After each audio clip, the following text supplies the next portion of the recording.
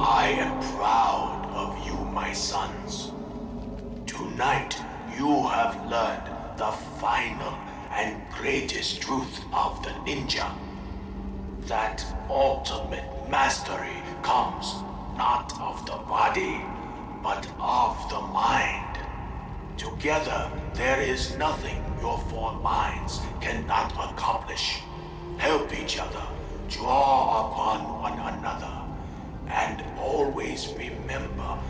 True force that binds you. The same as that which brought me here tonight. That which I gladly return with my final words. I love you all.